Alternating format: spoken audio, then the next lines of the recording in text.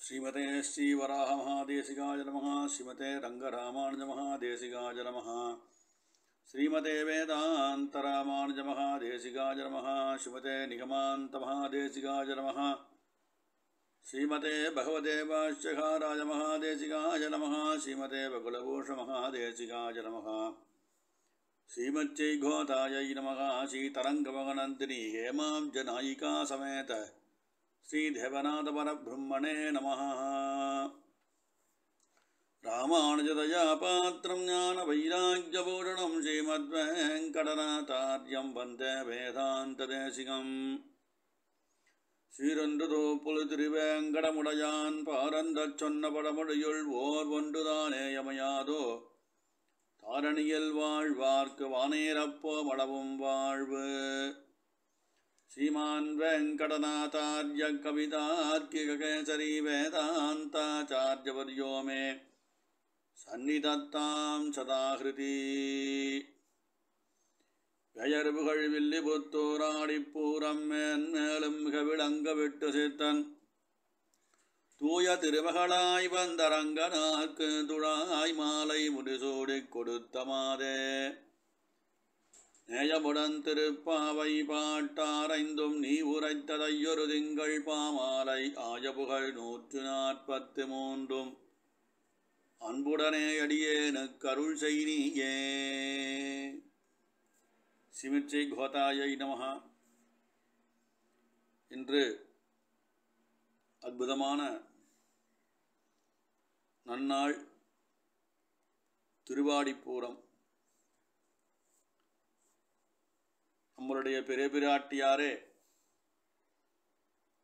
கோதாபிராட்டியாய் அயோனிஜையாய் அயோனிஜயாய் இந்த பூமியிலே அவதாரம் பண்ணி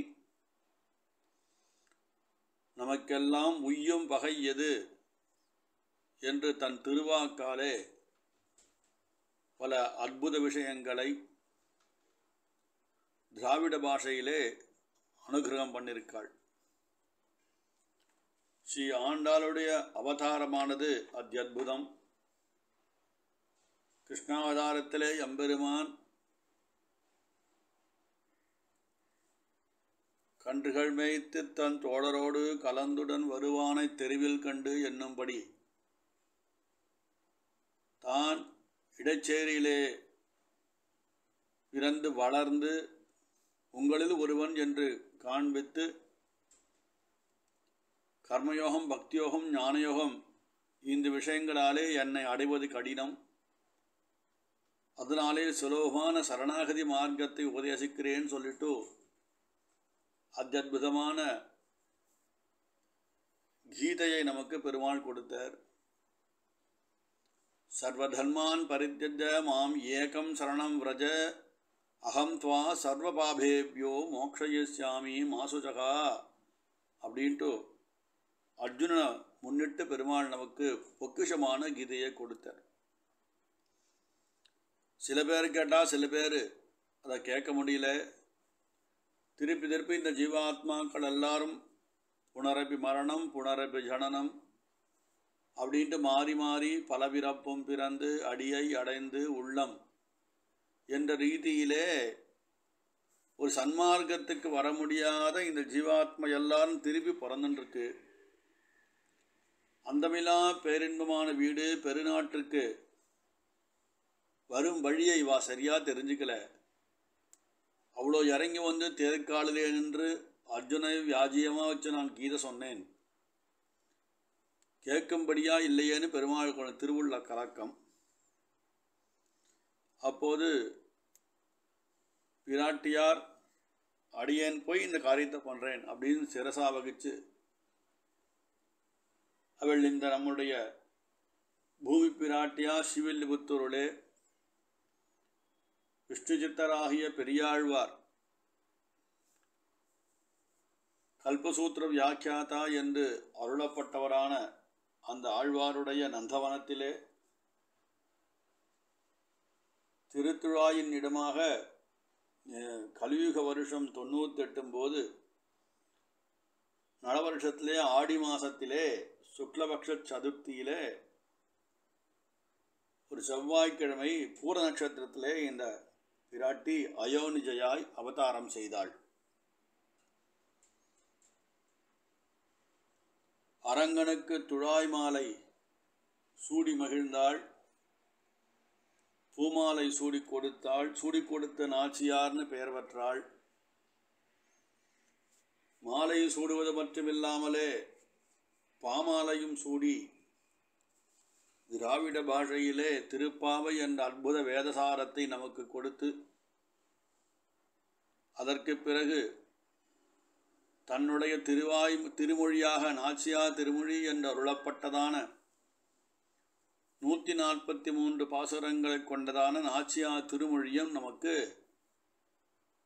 அனுகிரகம் செய்தாள். எல்லாமே எம்பெருமானை பற்றி கண்ணன் மீர் கொண்ட காதல் ரசம் நிறைந்த காதல்னா என்னங்க பக்தி. அந்த ரசம் நிறைந்த பாசுரங்கள். இந்த நாச்சியார பத்து திவ்ய ரசங்களை இந்த பாசுரங்களிலே மங்களாசாசனம் செய்திருக்காள். கோதையின் அவதாரம் ஆயிடுத்து ரொம்ப பெரியாழ்வார் பரம பக்தியிலே இருந்தவர். எம்பெருமானுக்கு பல்லாண்டு பாடி மங்களாசாசனம் செய்தவர். அவருடைய திருமகளாய் செல்வ சீமாட்டியாய் இந்த ஆண்டாள் நாச்சார் வளர்ந்து வரா. அந்த கதை எல்லாருக்கும் தெரியும். ரொம்ப விஸ்தரித்து சொல்ல வேண்டாம்.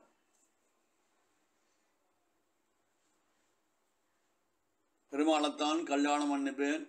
மாநிலவர்க்கென்று பேச்சுப்படில் வாழகில்லேன் கண்டாய் மன்மதனேன்னு ஆண்டாள் நாச்சார் வாக்கு. அப்பாட்ட சொல்கிறா அதாவது வேற யாருக்கான புருஷாளுக்கு என்ன வரன் பார்த்தாக்கா நான் உயிர் வாழ மாட்டேன் அப்படின்னு சாதிக்கிறார். மானிடவர்க்கென்று பேச்சுப்படில் யார் வீட்டுக்கான வெத்தலைப்பாக்க நீ எடுத்துன்னு போன அப்பா நான் உயிரோடு இருக்க மாட்டேன் பெருமாளைத்தான் கல்யாணம் பண்ணிப்பேன். அப்படியானது அந்த ப பெருமாள் மேலே அந்த பகவான் மேலே கிருஷ்ணன் மேலே அரங்க அரங்கன் மேலே அதீதமான அந்த கல்யாண வேட்கையோடு இந்த ஆண்டாள் நாச்சார் வளர்ந்து வரா. அதனாலே தான் சூடிக்கொண்ட மாலை அரங்கனை சூட வைத்து அவனுக்கு அது அதிபோக்கியமாக இருக்கும்படியாக பண்ணினவள். அதனாலே சூடி கொடுத்த நாச்சியார் என்று திருநாமத்தை பெற்றால் இந்த ஆண்டாள் நாச்சியார். சரித்திரம் ஒரு பக்கம் இருக்கட்டும் அப்புறம் பெருமாளை ரொம்ப ஆசைப்பட்டு கல்யாணம் பண்ணிண்டா பெருமாளும் கூட வராமல் இருந்தான் கூப்பிட கூப்பிட கதறினா அந்த கதறலெல்லாம் அவருடைய பாசுரங்களை வாயிலாக வெளிப்படுத்தியிருக்கா ஆண்டாள் நாச்சியார். அதற்கு மூலம் திருப்பாவை என்ற ஒரு அற்புதமான ஒரு விஷயத்தை நமக்கு கொடுத்தாள். பெருமாள் எப்படி கீதை கொடுத்தாரோ அதன் மேலே எழுநூற்றி சொச்ச ஸ்லோகங்கள் பகவத்கீதை ஆண்டாள் நாச்சியார் பண்ணது. திருப்பாவை என்றதான சகல வேத சாரம் உபனிஷத் சாரம்னு பெரியவா சொல்லுவா. என்ன வேதத்தை சொல்லிருக்கோ அதை தான் ஆண்டாள் நாச்சியார் எளிய தமிழிலே நாம் அறியும்படி புரியும்படி சாமானிய மக்களும் அறிந்து கொள்ளும்படியான ஒரு பாஷையிலே பரம கிருப்பையோடு அனுகிரகம் பண்ணாள் இந்த ஆண்டாள் நாச்சியார்.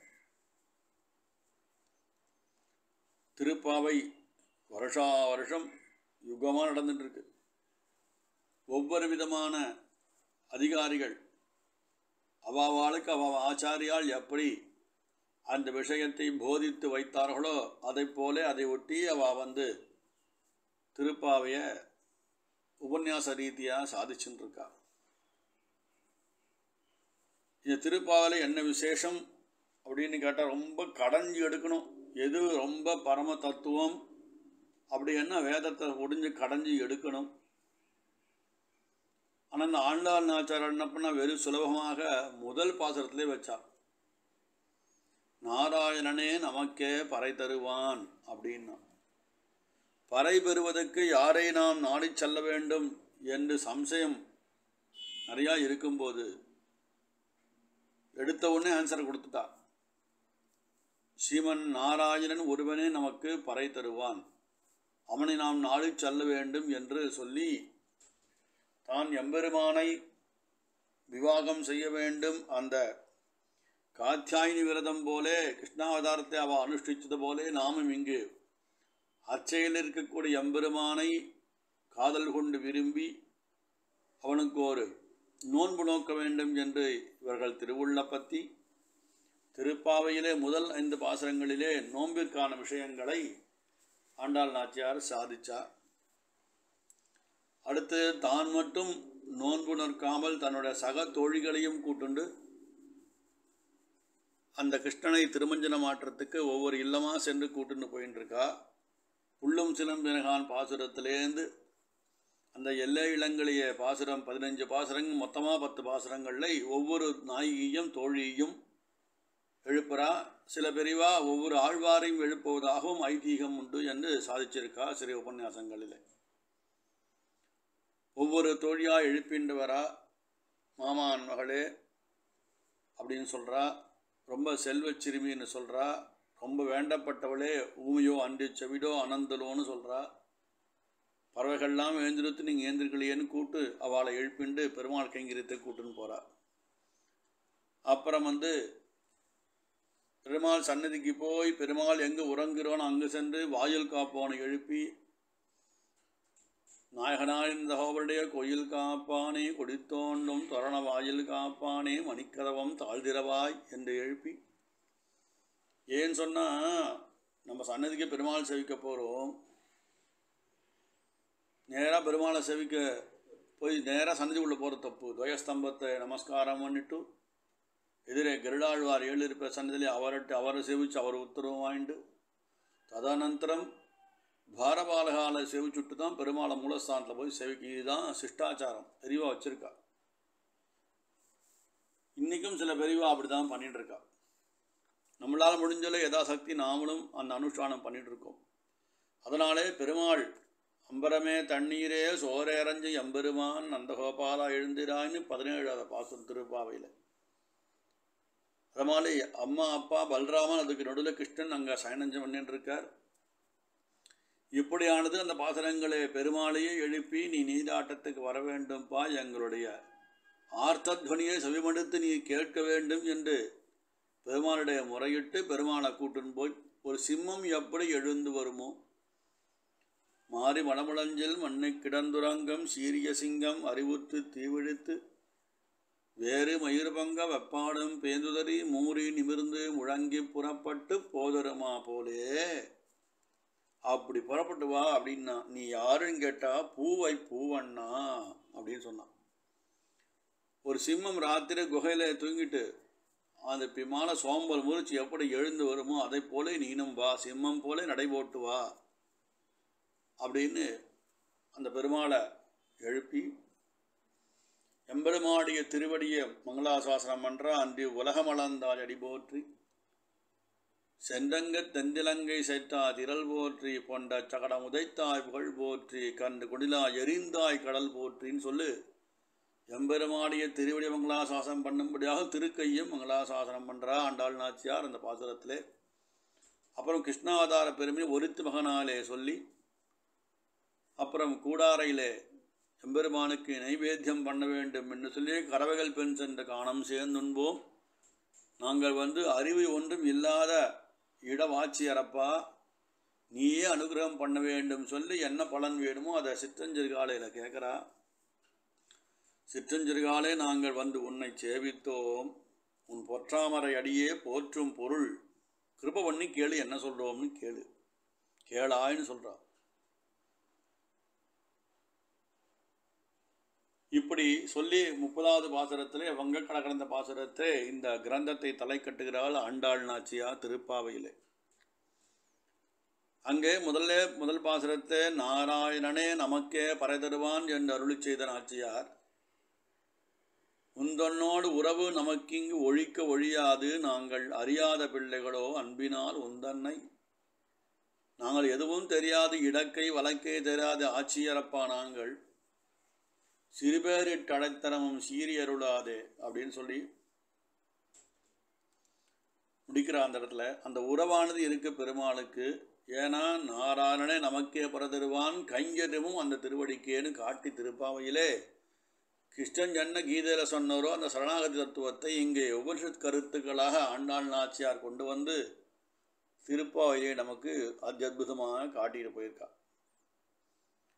ஆண்டாள் நாச்சியார் திருப்பாவை மட்டும் சாதிக்கலை. நாச்சியார் திருமொழி என்பதான நூற்றி நாற்பத்தி மூன்று பாசுரங்கள் தான் எம்பெருமான் மேல் காதல் கொண்டு இருக்கும்போது எம்பெருமானுக்கிட்ட இப்போ போக முடியல. எம்பெருமான் ரொம்ப என்னை படுத்தி எடுக்கிறான். அதனாலே ஒரு இன்னொரு திருமொழி அனுகிரகம் பண்ணால் திராவிட பாஷையிலே நாச்சியா திருமொழி என்ற திருநாமம். அந்த திருமணியானது பதினாலு பாகங்களாக இருக்கு. முதல்லேருந்து தையொரு திங்கள்லேருந்து ஆரம்பித்து கடைசியில் கடைசி பதிகம் வரைக்கும் பதினாலு பாகங்களாக கொண்டு போயிருக்கா. ஒவ்வொரு பாகத்தில் ஒவ்வொரு ப- தசகத்திலையும் ஒவ்வொரு ஒவ்வொரு விதமான ரசங்கள். முதல் தசகத்திலே ரொம்ப ஹைலைட்டாக சொல்லணுன்னாக்கா எப்போவும் ஒன்று தான் நினச்சிட்டு இருக்கேன்ப்பா உன்னை தவிர திருமணம் புரிவதற்கு எனக்கு யாரிடத்துலையும் விருப்பமில்லை. அதனாலே மானிடவர்க்கென்று பேச்சுப்படல் வாழகில்லேன் கண்டாய் மன்மதனேன்னு சொல்லிட்டு பெருமாள் மன்மதன்னு சொல்லி மங்களாசாசையும் இந்த ஆண்டாள் நாச்சியார் பண்ணுறார் ஏன்னா எல்லாரும் திருப்பாவை அர்த்தங்களை ரொம்ப விஸ்தாரமாக கேட்டிருப்பீங்கோ. ஒவ்வொரு தனுர் மாதத்துலேயும் ரொம்ப ரொம்ப அதிகாரிகள்லாம் கொண்டு திருப்பாவை உபன்யாசம் நடக்க யுக யுகமாக பண்ணிட்டு அற்புதமான ரசங்கள் திருப்பாவலையை சொல்லியிருக்கா. எல்லாம் கேட்டுன்னு இருக்கா ஏன்னா இந்த தமிழின் அழகு ஆண்டாள் நாச்சாட்டு ரொம்ப அதிகம். அவருடைய திருத்தகப்பனாரை விட ஆண்டாள் நாச்சாருக்கு தமிழில் ரொம்ப ஈடுபாடு. இந்த ழகரம் இருக்கு பாருங்க. அதை ரொம்ப கையாண்டிருக்கு ஆண்டாள் நாச்சியார். ஏன்னா அவருடைய திருத்தகப்பனா பெரியாவா திருமலே குடலிரண்டு சுருண்டேறிய குஞ்சி கோவிந்தனுட கோமளவாயில் குழல் முழஞ்சுகளோடு குடித்து கொழித்திழிந்த வமுதப் புனல் தன்னை குழல் முழவம் விளம்பம் புதுவைக்கோன் வெட்டு சித்தன் விரித்த தமிழ் வல்லார் குடலை வென்ற குளிர் வாஜினராகி சாதுகோட்டியுள் கொள்ளப்படுவாரேன்னு சாய்ச்ச ஒரு பாசுரத்தில். அது என்னன்னா எம்பெருமானுடைய குழல் ஊதும் அந்த அழகு இந்த குழலினாலே வந்து குழல் ஓசையினாலே எப்படி வந்து எல்லாம் மெய்மறந்து போனார்கள் என்று பெரிய பெரியாழ்வார் சாதிச்சிருக்கார். ரொம்ப அந்த தசகம் ரொம்ப மனசை உருக்கக்கூடிய தசகம். அது அப்படியே அப்படி சொல்லணும்னா கிருஷ்ணாதாரத்துக்கு நம்ம கூட்டுன்னு போயிடும் அந்த தசகம்.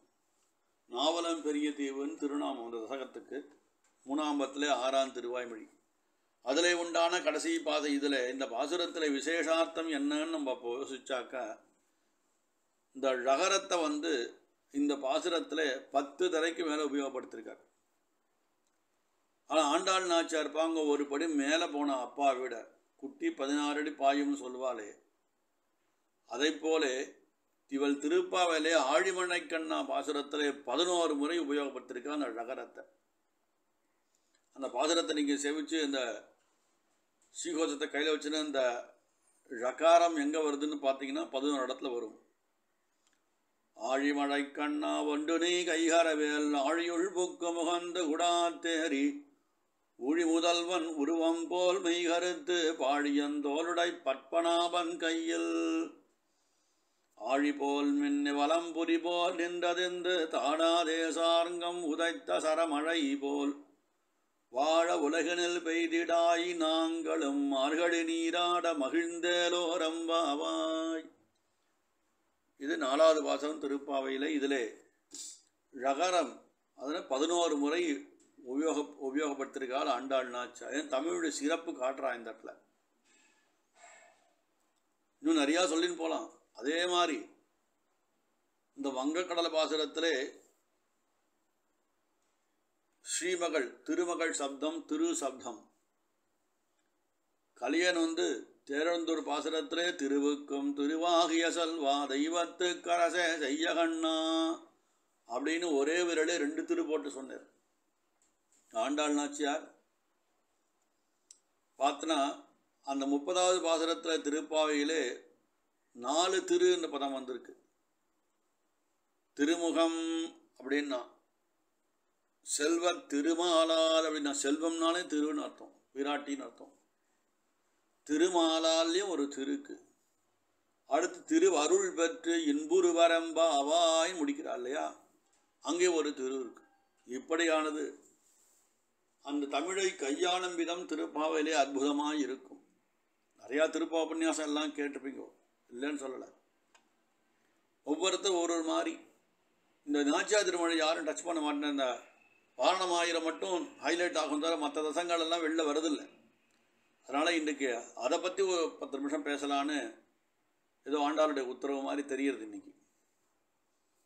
அப்படியானது இந்த நாச்சா திருமொழியிலே முதல் தசகத்திலே மானிடவர்க்கென்று பேச்சுப்படல் வாழகில்லேன் கண்டாய் மன்மதனே என்று ஆண்டாள் நாச்சார் பெருமாளை மன்மதன் சொன்னான் ஏன்னா சாக்ஷாத் மன்மதன் பெருமாள் ஒருவன் தான் எல்லா மன்மதனை விட ரொம்ப பெரிய மன்மதனானவன். நம் பெருமாள்னு நீங்க காட்டுறான் நான் பார்க்கடல் வண்ணனுக்கே பணி செய்ய வேண்டும் தொழுது முப்போது முன்னடி வணங்கி தூமலர் தூய் தொழுதேத்துகின்றேன். பழுதின்றி பார்க்கடல் வண்ணனுக்கே பணி செய்து வாழப்பெறாவிடில் அவனுக்கு நான் பணி செய்து வாழ வேண்டும் ஆண்டாள் நாச்சாவிடும் எப்படின்னா பழுதின்றி பார்க்கடல் அந்த கைங்கரத்தே ஒரு தோஷம் இருக்கக்கூடாது. அப்படிப்பட்டதான தோஷமில்லாத கைங்கரத்தை பார்க்கடல் வண்ணனுக்கு நான் செய்ய வேண்டும் என்பதானது ஆண்டாள் நாச்சா திருவுள்ளம் இங்கே. அப்படி நான் கைங்கரியம் பண்ணாட்டா நான் என்ன பண்ண அழுதுவேன் அலற்றுவேன். என்ன பண்ண முடியும்? இந்த கைங்கரியத்தை அவனே அனுகிரகம் பண்ண வேண்டும்னு சொன்னால் அதுவும் அவனது இன்னருளே.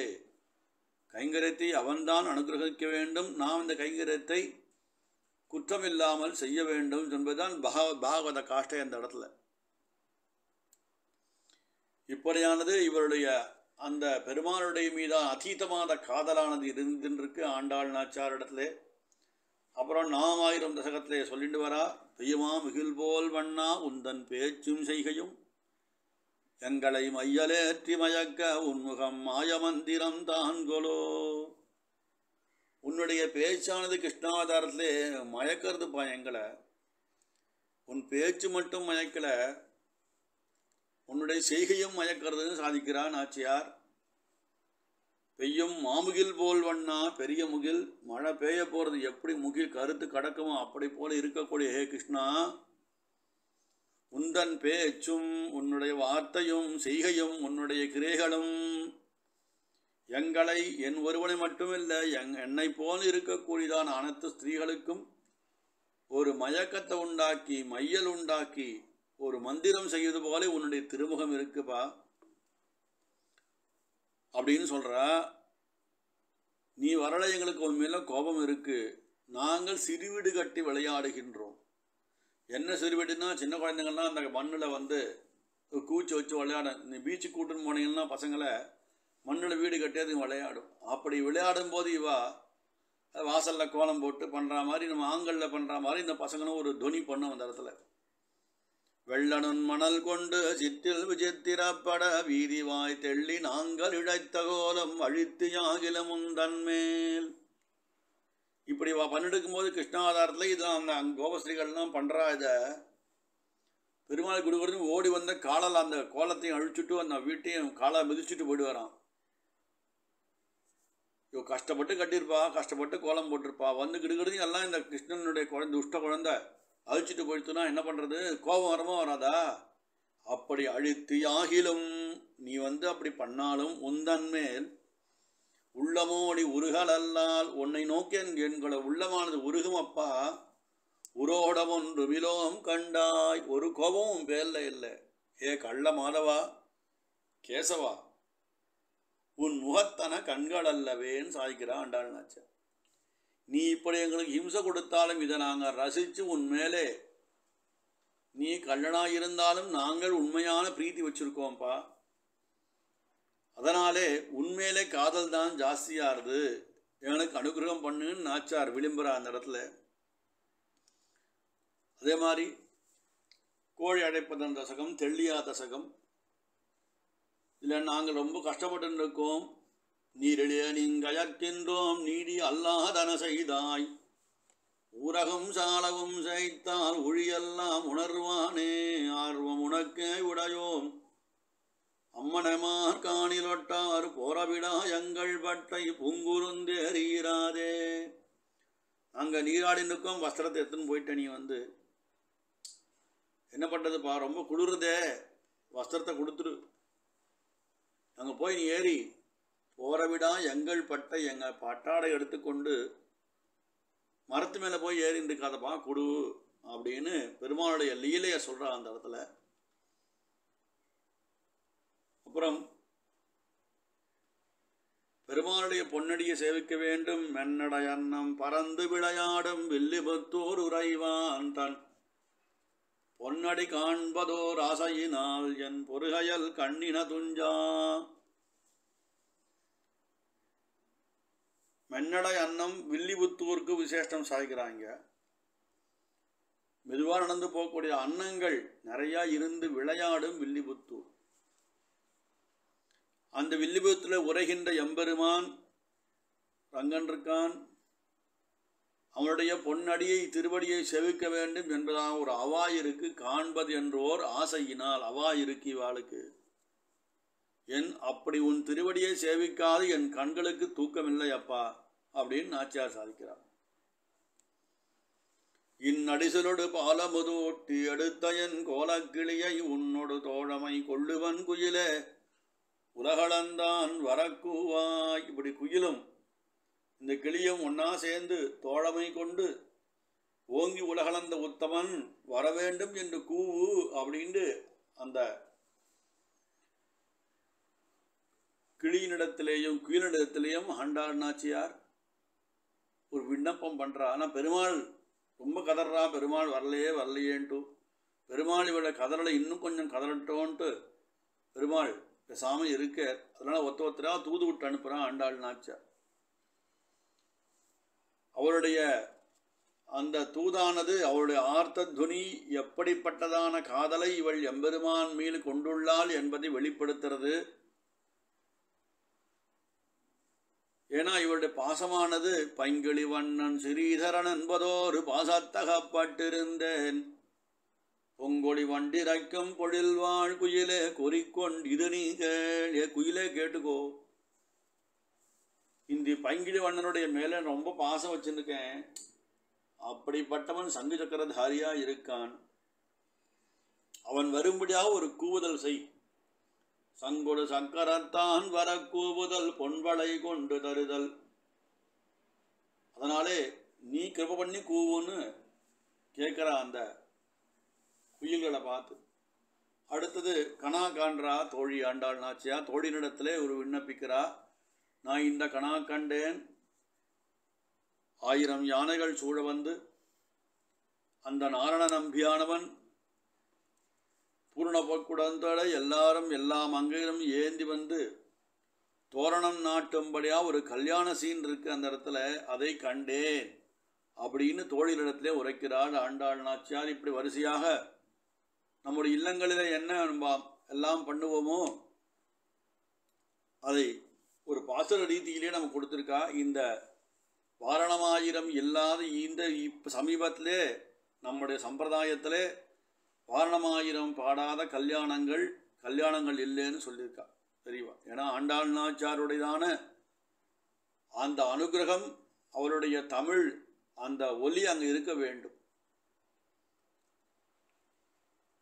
மேற்கொண்டு சொல்லும்போது கோளரி மாதவன் கோவிந்தரன்பானோர் காளை புகுதான் கணா கண் ஒரு காளை வந்து காளைனா புருஷன் அர்த்தம் இங்க. அவன் வந்து என் கைப்பற்றும்படியாக ஒரு கணா கண்டேன். அந்தரி சூட்டும்படியான கணா கண்டேன். அதாவது முகூர்த்த பட்டாடை மந்திர கோடி உடுத்தி மணமாலை. மணமாலை சூற்றா எனக்கு காப்பு கட்டரா புனிதனாகிய பெருமாள் காப்பு நான் கட்ட கணா கண்டேன்னு சொன்னா அடிநிலை தொட்டு எங்கும் அதிர புகுத கணா கண்டேன். சதிரிளமங்கையர் வந்து எல்லாம் பண்றா. மத்தளம் கொட்டுறது பரிசங்கங்கள் ஊதுறது. பெரிய முத்துப்பந்தல் கீழே மைத்துரன் நம்பியார் என் மதுசூதனன் வந்து என்னுடைய திருக்களத்தை பற்றி கன்னிகாதானம் பண்ணும்படியான ஒரு கணா கண்டேனம்மான்னு ஆண்டாள் நாச்சியார் சொல்றா இங்கே. நல்ல வேதம் படித்தவா மறை பொருள் தெரிந்தவா பிரம்மம் அதாவது பெருமாள் யாருன்னு அறிந்தவா வாயி நல்லா நல்ல மரஜோதி மந்திரத்தால் பாசினை நாணல் படுத்து பரிதி வைத்து காசினமா களிறு அண்ணானன் கைப்பற்றி தீவலம் செய்ய. அந்த அக்னியை பிரதட்சம் பண்ணும்படியாக ஒரு அவ மந்திரம் சொல்லி அந்த கல்யாண கிரியையும் விவாகத்திலே நான் பண்ணுகின்றேன்.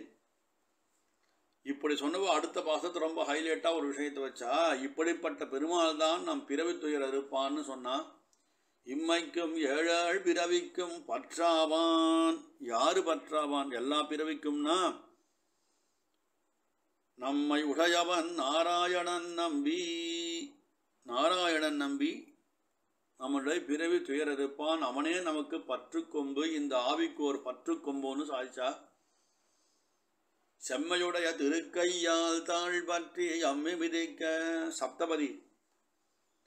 அம்மி மிதிக்க கனா கண்டேன். அதனால தான் இன்றைக்கு நம்ம வைஷ்ணவ இல்லங்கள்லே இந்த கல்யாணம் வரும்போது ஆண்டாள் நாச்சார் இந்த அவளுக்கு கல்யாணம் அப்படி ஆயிருக்கு. அம்மி மிதிக்க கனா கண்டேன் அப்படின்னு சாய்க்கிறாங்க. அடுத்தது இந்த பொறிகிறதுன்னு சொல்லுவாளே பொறிமுகம் தட்ட கனா கண்டேன். அறிமுகன் அச்சுதன் கைமேலன் கைவத்து பொறிமுகம் தட்டினானம்மா அப்படின்னு சொல்றா. குங்குமம் பூசுறது குங்குமம் அப்பி குளிர் சாந்தம் மட்டித்து மங்கள வீதி ஜானுவாசம்.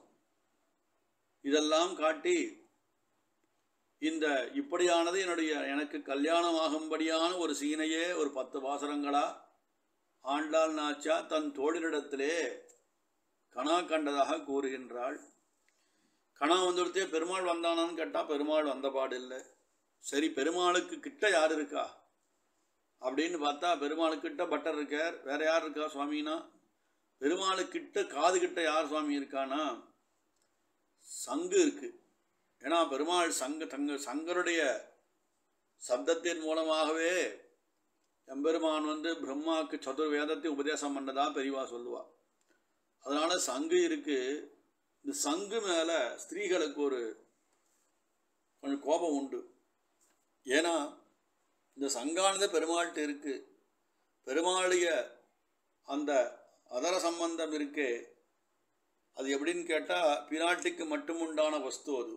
அதை இந்த சங்கு எப்படி எடுத்துடுது அதனால சங்கின் மேலே ஒரு கோபம் ஏ சங்கே நீ பெருமாள்கிட்ட எப்படி போனேன் எனக்கு உண்டான வஸ்து நீ எப்படி சுவீகரிக்கலான்னு ஒரு கோபம் ஆண்டாள் நாச்சாருக்கு சங்கின் பேலே.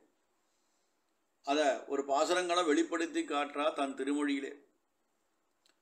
பெருமாளுடைய அந்த உதட்டோட ஸ்பரிசம் எப்படி இருக்கு அந்த நாற்றம் எப்படி இருக்கு அப்படின்னு கே- கேள்வி கேட்குறா. கருப்பூரம் நாருமோ கமலப்பூ நாருமோ திருப்பவள செவ்வாய்தான் தித்தித்திருக்குமோ.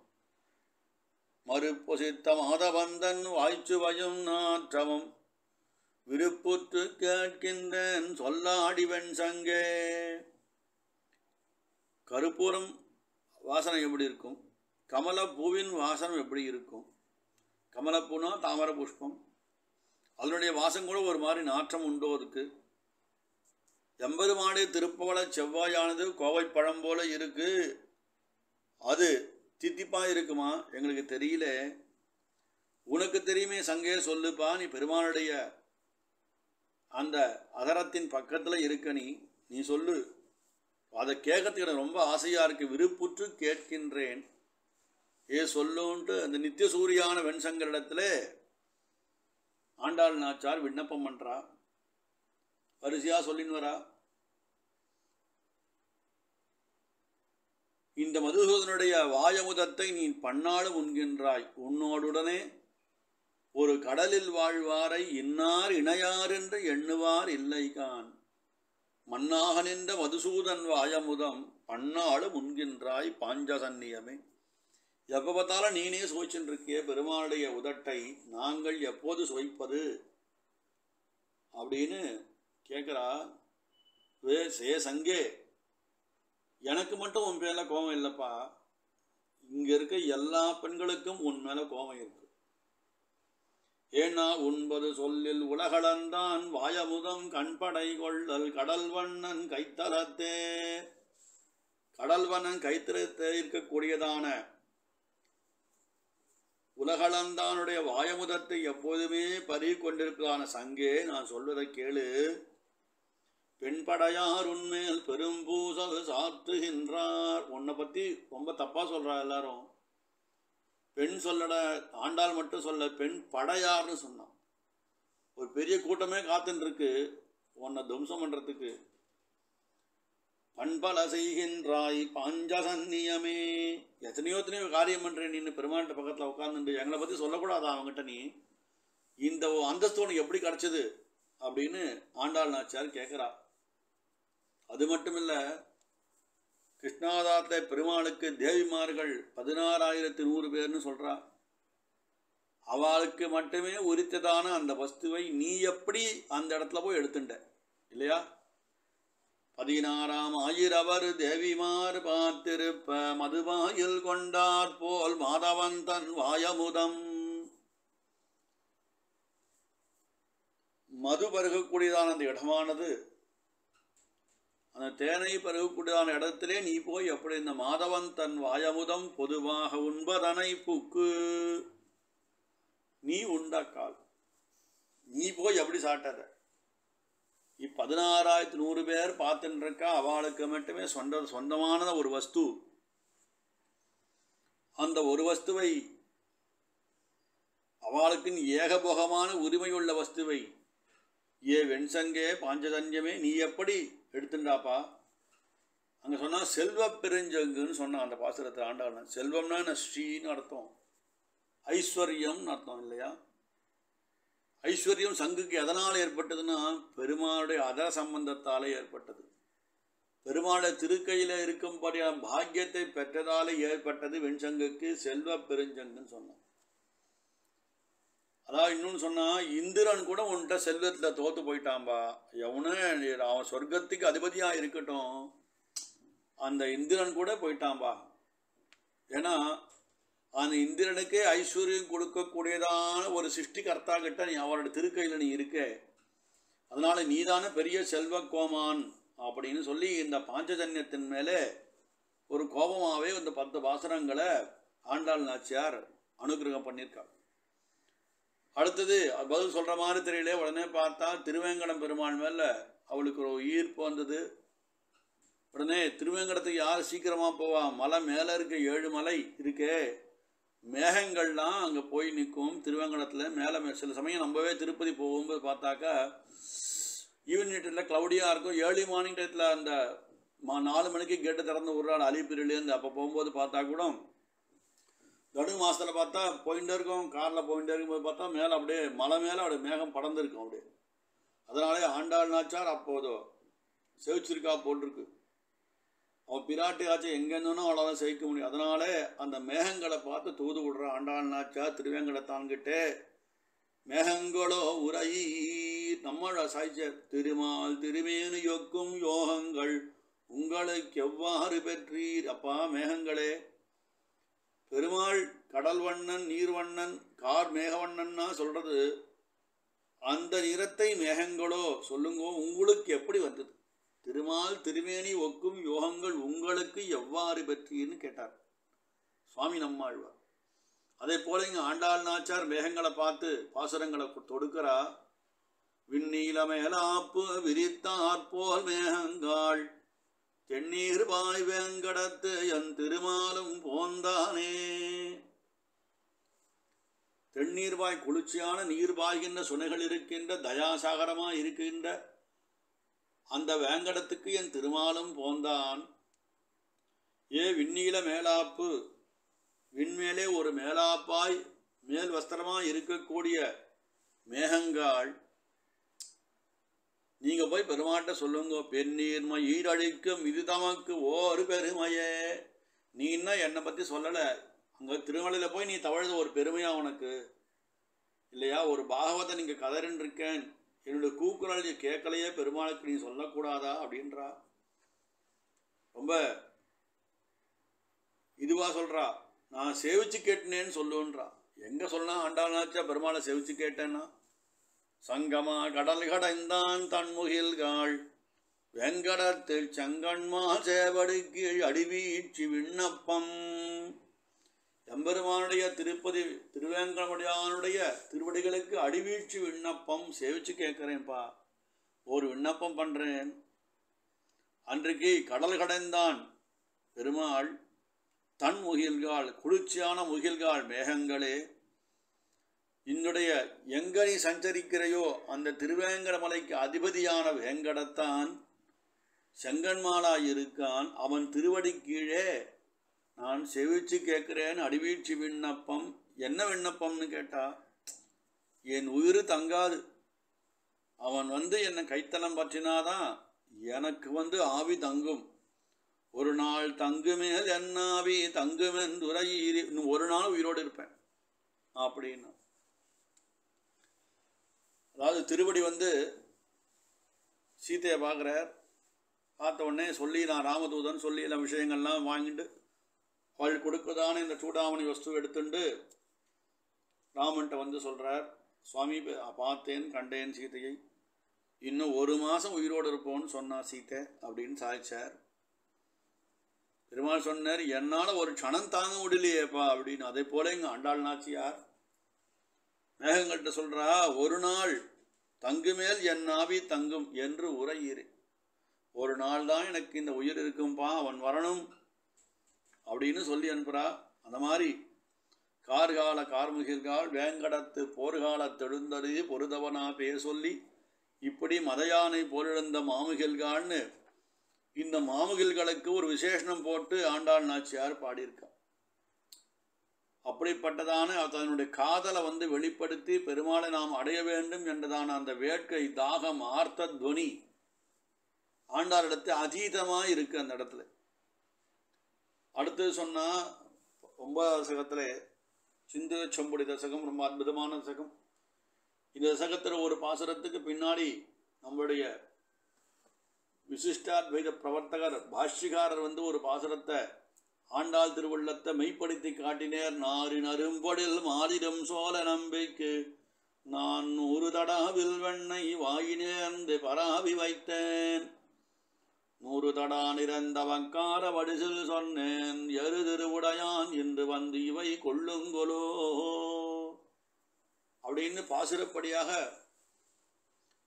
நூறு தடா நிறந்து திருமாலிஞ்சோல் அழகருக்கு நான் சமர்ப்பிக்கிறேன்னு சொன்னா பின்னாளில் பகவத் பாஷ்யகாரர் இதை ஆண்டாளுடைய திருவாக்கை மெய்ப்பித்து காட்டினார் மாலிதஞ்சோலை அழகருக்கு. நீ இப்போ வந்து இந்த நூறு தடாவை அம்சஞ்சுட்டாக்கா இன்னும் நிறையா கொடுக்குறேன்னு சொன்ன. இன்று வந்தித்தனையும் அமுது செய்திடம் பெறில் நான் ஒன்று நூறாயிரமாக கொடுத்து பின்னும் ஆளும் செய்வன்.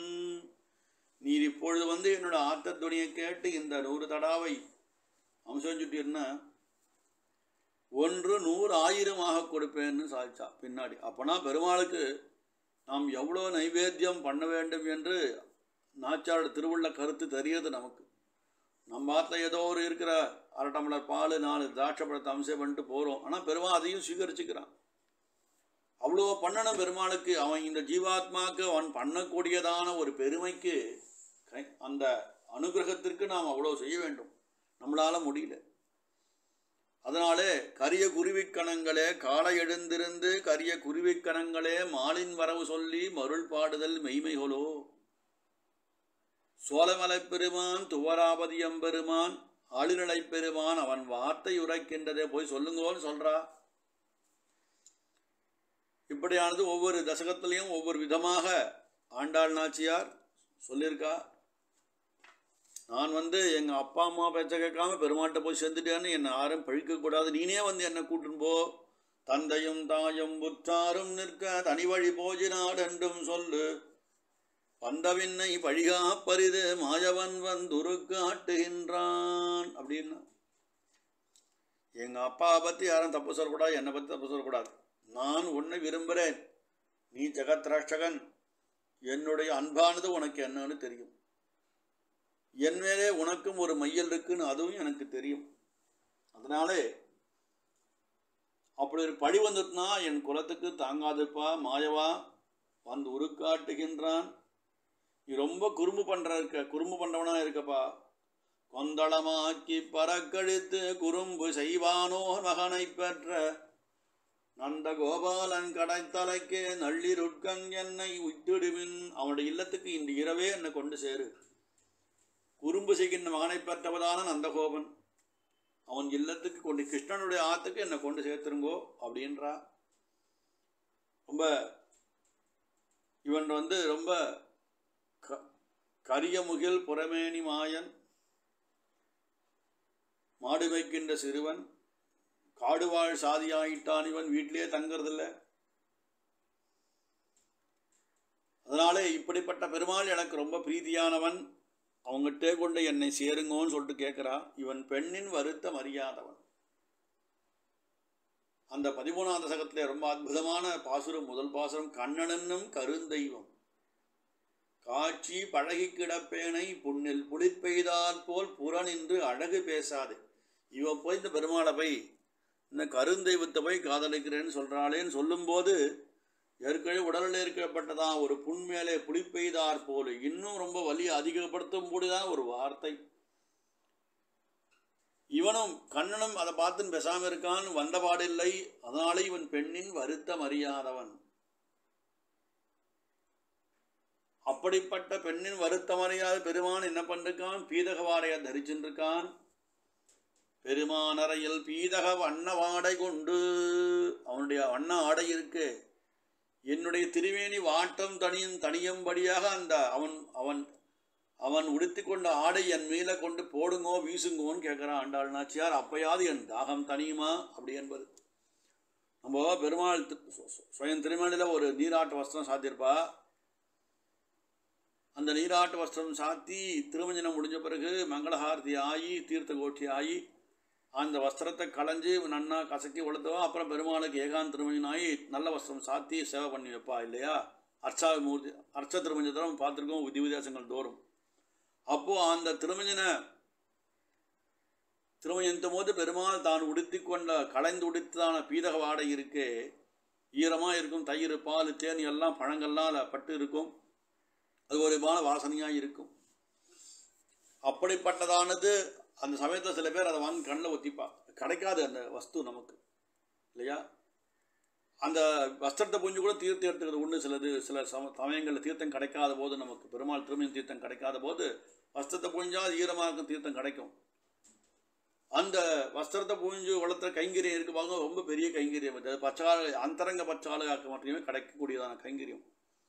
அப்படிப்பட்டதான பெருமாளுடைய அறையிலே உடுத்தப்பட்டதான அந்த ஆடை இருக்கே அதை கொண்டு என் மேல் போடுங்கோ. அப்போ கிருஷ்ணனே வந்த மாதிரி எனக்கு தெரியும்னு சாதிக்கிறான் அந்த பாசுரத்தில்.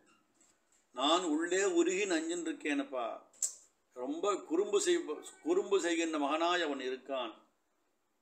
என் அப்படியே அவன் மேலே நான் அள்ளி பறிக்க வேண்டும் அப்படின்னு ரொம்ப கஷ்டப்படுறான் பெருமாளுடைய வாயிலே வந்த நீரை என் மேல் தெளியுங்கோல்.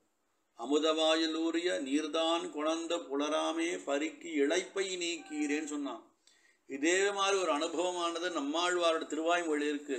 நாலாம் பத்து ரெண்டாம் தசகத்தில் பாலனாய் ஏருடு கொண்டு பரிவின்றி ஆளிலை அன்னவசம் செய்ய மன்னலார் தாளினை மேடனி தன்னந்துடா என்ற மாலுமால் அப்படின்னு சொல்லி ஒவ்வொரு அவதாரத்திலையும் பெருமாள் தான் திருவடியிலே சூடிக்கொண்டதான திருவடியிலே சூடிக்கொண்டதான திருத்துடாயை கொண்டு என் மேல் கொண்டு போடுங்கோன்னு நம்மாழ்வார் கதற திருவாய்மொழியில். அப்படி இந்த ஆண்டாள் நாச்சார் அம்மாவாரைப் போலே எம்பெருமான் கண்ணன் தமக்கு வந்து கிட்டின பாடில்லை. அதனாலே எனக்கு அவனுடைய பீதக வாடையை கொடுங்கோ அவன் அவன் உண்ட தீர்த்தத்தை கொடுங்கோ. அவனுடைய திருத்துழாய் நீலார் தன்னந்துழாய் கொண்டு என் நெறிமேன் குடல் மேல் சூட்டீரே அந்த திருத்துழா கொண்டு என் தலையிலே சூடுங்கோ அப்போதாவது என்னுடைய தாகம் தணிகிறதா என்று பார்க்கிறேன்ட்டு தன்னுடைய கிருஷ்ண பக்தியை நாச்சியார் வெளிப்படுத்துறா இந்த இடத்துல. கடைசியில் பட்டிமேந்தோர் காரைகளை விருந்தாவன க்ஷேத்திரத்தை மங்களாசாசனம் ஆண்டாள் நாச்சியார் மாதவனன் மணியினை வலையில் பிழைத்த பன்றி போல் ஏதவொன்றும் குளத்தாரா ஈசன் தன்னை கண்டீரே. பீதகவாடை உடைதாழ பெருங்காறு மேகக்கன்றே போல். விதியார வருவானை விருந்தாவனத்தே கண்டோமே. மாதவனா இருக்கான் இவன் மானா பெரியவன் ரொம்ப தபஸ்வினா என்ன தபஸ்னா நமக்கு அனுகிரகம் பண்ணி தான் அவன் தபஸ் அவனுடைய சத்தியம் அதுக்கு தான் அவன் இருக்கான் பெருமாள் இருக்கான். என் மணின்னா மணின்னா மனுஸ்வபாவமானவன் முந்தானையிலே முடிந்து கொண்டு ஆளும்படியான சுபாவத்தை உடையவன் மாலே மணிவண்ணா பாத்திரத்துக்கு பெரிவா பண்ண வியாக்கியானம். அதே மணி சப்தத்தை இங்கு ஆண்டாள் நாச்சார் கடைசி தசகத்தில் இங்கே எடுத்திருக்கா மாதவன் என் மணியினை வலையில் பிழைத்த பன்றி போல ஏதமன்றும் கொளத்தாராக ஈசன். அப்படிப்பட்ட ஈசன் எப்படி இருக்கான்னா பீதகவாடை உடை தாழ. தழைய தழைய பெருமாள் நல்ல பீதாம்பரதாரியாய் கொடுத்துட்டு இருக்கான் பெருங்கார் மேகக் கன்றே போல். ஒரு கார்மேக கன்று எப்படி நடந்து வருமோ ஒரு வீதியிலே அதை போல நடந்து வருகின்றான். எங்கே நடந்து வரான்? விருந்தாவன க்ஷேத்திரத்திலே பெருமாள் நடந்து வரான். அதை பார்த்தேன். விருந்தாவனத்தே கண்டோம். விருந்தாவனத்தில் தான் பெருமாள் நடந்து வரான். சொன்னார் சுவாமி தேசிகன் பாதுகாசகத்தில் ஒரு ஸ்லோகம் சஞ்சார பத்ததியில் வரும். என்னன்னா நந்தன துல்லியமாசீத்துன்னு வரும். அப்படின்னா பெருமாள் தன்னுடைய கிருஷ்ணன் தன்னுடைய பாதுகையை போட்டுண்டு விருந்தாவன க்ஷேத்திரத்தில் பெருமாள் நடந்து போயின்னு இருக்கான் பெருமாளுடைய பிருந்தாவன கஷேத்திரத்துக்கு பெருமாள் ஏழத்துக்கு முன்னாடி ஒரு நெறிஞ்சு முள்ளு காடாக கடந்துதான் அந்த க்ஷேத்திரம். பெருமாள் எப்படி தன்னுடைய பாதகியை போட்டுண்டு அந்த க்ஷேத்திரத்தில் பெருமாள் வீதியார வருவான்? பீதகவாடை உடைத்தாழ பெருங்கார் மேகக்கன்றே போல் வீதியார வருவானை விருந்தாவனத்தே கண்டோமே என்பது ஆண்டாள் நாச்சார் வாக்கிங்க அப்போ பாதுகாசத்த சுவாமி தேசிகன் ரொம்ப அற்புதமாக சாய்ச்சார் அந்த இடத்துல. இதுக்கு முன்னாடி கிருஷ்ணன் பாதுகை சாத்தின்னு அங்கே வரத்துக்கு முன்னாடி ஒரு நெறிஞ்சமுள் காடாக கடந்தது. எப்போ இவன் பாதுகை சாத்தின்னு எழுதிட்டானோ அதாவது இந்திரலோகத்தினுடைய கூடதான அந்த மலர் தோட்டங்கள் எப்படி இருக்கும் அங்கே அந்த விருந்தாவனம். அந்தவுடைய அவனுடைய தோட்டத்தில் எவ்வளோ புஷ்பங்கள் புஷ்பிச்சிருக்குமோ அதே போல இந்திரலோகத்தினுடைய அந்த உத்தியானம் போல இந்த விருந்தாவனம் ஆயிற்று அப்படின்னு சஞ்சார பத்தத்திலே ஒரு ஸ்லோகம் சட்டுன்னு ஸ்லோகம் அப்படி எனக்கு ஞாபகத்துக்கு வரல. அந்த இந்திரலோகத்தை போலே அந்த புஷ்ப தோட்டத்தை உடையதா உடைக்கும்படியான சமமாக இந்த பிருந்தாவன க்ஷேத்திரம் ஆச்சு. அது எதனாலன்னு கேட்டா இந்த பாதுகையின் மகிமையாலேன்னு சாதிச்சா. ஆனால் பெருமாள் நடந்து வரான் வீதியார வருவான்னு சாதிச்சுட்டா விருந்தாவனத்தில் வீதியார வருவான்னா அப்போ பெருமாள் நம்ம திருவீதி கண்டருடான் ஒவ்வொரு அச்சாமூர்த்தியும் நமக்கு ஒரு யாழி வாகனமோ சிம்ம வாகனமோ கருடோத்சவமோ இல்லை திருத்தேர் உற்சவமோ பரியோ. இதெல்லாம் எதுக்கு பெருமாள் வீதியில் வரான்னா பெருமாளை சன்னதியில் போய் சேவிக்க முடியாதவாளுக்கு பெருமாள் தான் ஒவ்வொரு அழகா திருக்கோலம் சாத்தின்னு வந்து நமக்கெல்லாம் இந்தளவும் அனுகிரகம் பண்ணிட்டு இருக்கான்னா நம்ம பேர இருக்கிற பெருமாள் திருவள்ளத்தில் உண்டதான் பரிவானது அந்த தயா குணமானது பெருமாளை தன்னை ஒவ்வொரு குடமும் சாத்திண்டு தானே ஏழி வந்து நம்ம ஆத்து வாசல்ல வந்து உபகாரம் ஸ்வீகரிச்சுன்னு நமக்கு ஸ்ரீஷடகோபத்தையும் பிரசாதித்துட்டு பெருமாள் நகர்ந்து போறான்னா பெருமானுடைய அந்த என்ன சொல் எப்படின்னு சொல்லவும் தெரியல அடி எனக்கு. அந்த குணம் இறக்க குணமானது எப்படி இருக்குன்னா ஆஸ்திகால் பேர்லே ஆஸ்திகாலுக்கு ஒன்றுனா ஓடி வந்துடுவான் இல்லையா? பெண்ணுளாம் சடையினானும் பிறவன உன்னை காண்பான். எண்ணிலா ஊழி ஊழி தவம் செய்தா வைகு நிற்ப. விண்ணுலா வியப்ப வந்து ஆனைக்கண் அருளகின்ற கண்ணரான்னு சொன்னார். கலைகனா கருதுமாறேன் திருமாலில் தொண்டடைப்பி ஆடுவார் நாற்பத்தி நாலாவது பாசுரம். இத்தனை பேர் தபஸ் பண்ணிட்டு காத்துன்னு இருக்கா யானை கத்தித்து ஆதி மூலமேன்னு கத்தித்து ஓடி வந்துட்டான். கருடாருடனா வைகுண்டத்திலேருந்து பெருமாள். அவனுடைய இறக்க குணமானது அப்படி இருக்கு. அப்படிப்பட்ட கிருஷ்ணன் விருந்தாவனத்தில் இருக்கான் பெருங்காரமேக கன்று போல இருக்கான் பீதகவாடை தழைய தழை உடுத்தின்றிருக்கான் அவன் மாதவன் மனுஷபாவமானவனாக இருக்கான் அவன் வீதியார் வருகின்றான்.